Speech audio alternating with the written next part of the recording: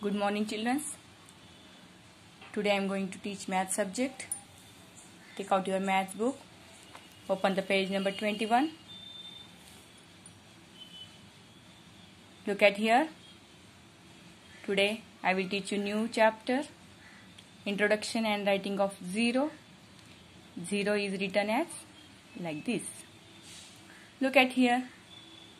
Here having two pictures. Here have passengers. Four passengers are waiting for a bus. So here four passengers went in the bus. So zero passengers remain. Here passengers are went in the bus. Here not have.